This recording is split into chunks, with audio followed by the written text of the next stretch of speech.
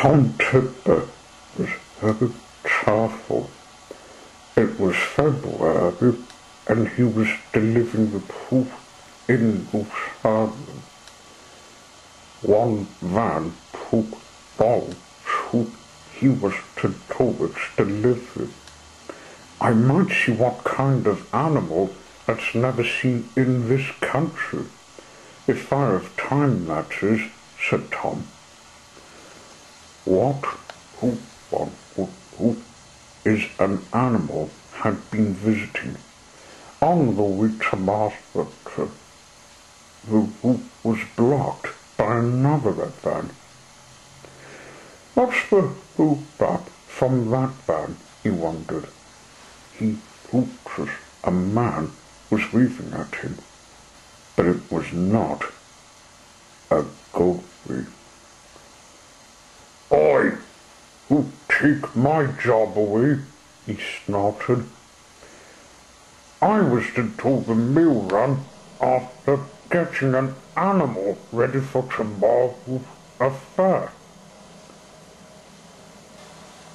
Tom didn't want to bother with what he was talking about, so passed it and who on. When he arrived in Masterton, he started delivering the proof that was supposed to get through. Who sober was he finished and was to head to Glenbrook, he saw the police car in search of a van containing a hunter. Excuse me, sir, do you happen to have any business with a man that was wanting to steal the job of delivering proof? asked an officer. Who, officer? He was blocking the road, wanting me to let him take over my job assistancy, said Tom. I just met him outside this town. That's a skewy story. He wants to steal the proof vehicle and deliver with kidnapping anyone, said the officer.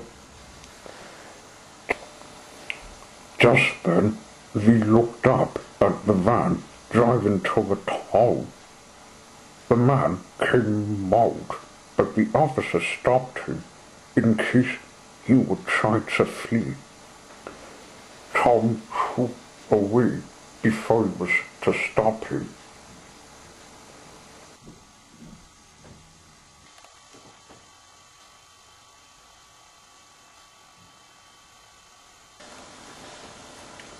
While driving, he thought about his task.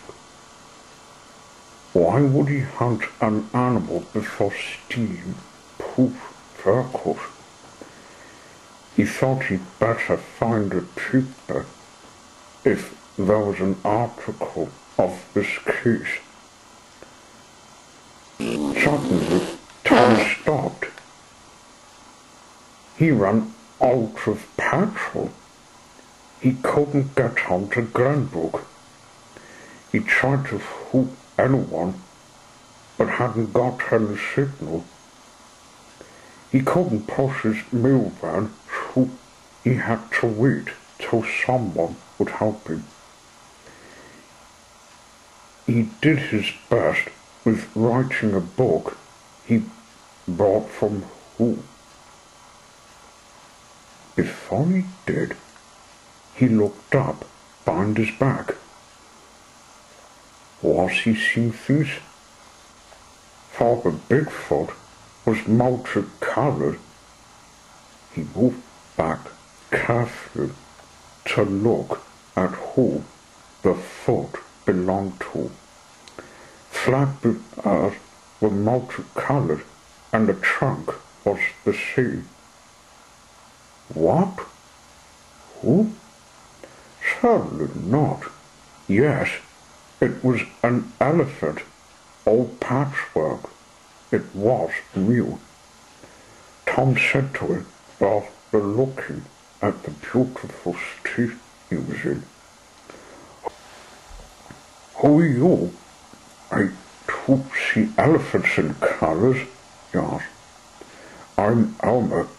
I saw you run out of petrol, so I thought I'd give you a push to the next petrol station, said Elmer. Name.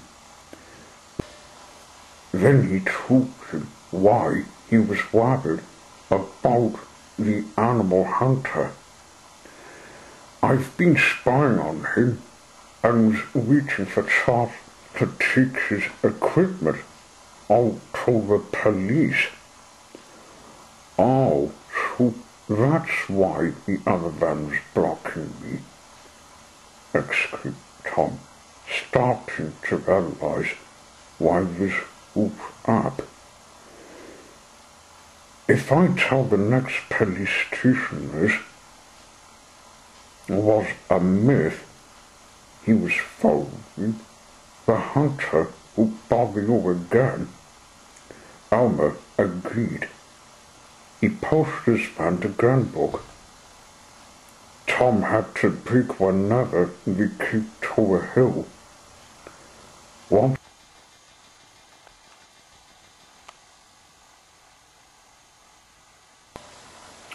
Once arriving at the next petrol station, he had petrol, then delivered proof, then went to another police station. Elmer left to walk back in the bushes. Huh?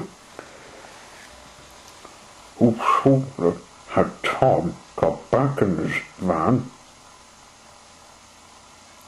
The other van came screeching to a halt. Out came the animal hunter blocking his way, not letting him leave Glenbrook. You've got a minute to tell me where that elephant is. I saw you with it, he snarled. Steal your proof. You've gotten good right for illegal jobs. You shall have my van, altered Tom.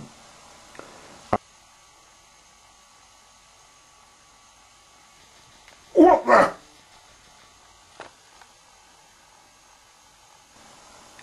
Elmer seeing this came stomping up to the animal hunter, grabbing him by the wrist, then saw him in a nearby bin. Two officers came to see what the racket was. When we saw the criminal in the bin, it was time to put him in jail. Tom and Elmer left Glenbrook before the binned man would see them. That was cool said Albert. I was wanting to pick him up to chuck him in the bin for us till today.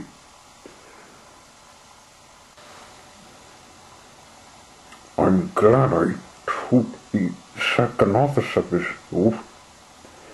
The hope, hope of a hunter would hunt you again, said Tom, and swooped off after saying goodbye. Elmer went walking back into the wood to continue his holiday.